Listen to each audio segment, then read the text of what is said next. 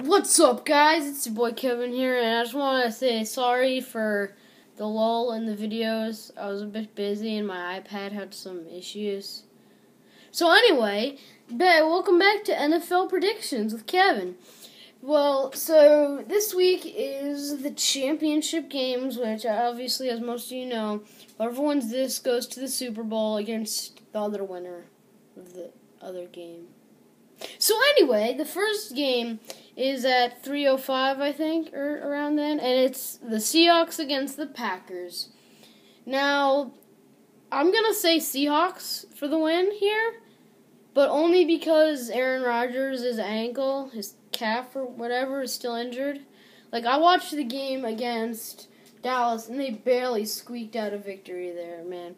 That Dez Bryant catch was it was a catch. So I'm just gonna say I'm not happy. Well, I'm happy that the Cowboys lost, but pretty sure he caught that. So anyway, so Seahawks are gonna win because they have a great defense. I think it's the number one in the league. They they um, Kam Chancellor's doing great. Russell Will everyone's healthy, no one's injured. So yeah, it's basically you're gonna win. So the second match is the Colts against the Patriots. Now, Colts are going to get crushed.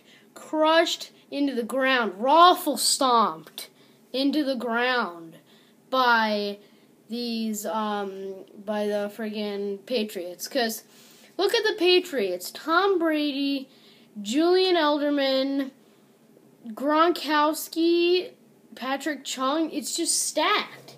They're stacked.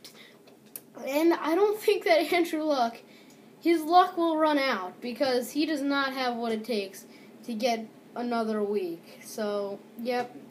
Patriots, Seahawks, Super Bowl.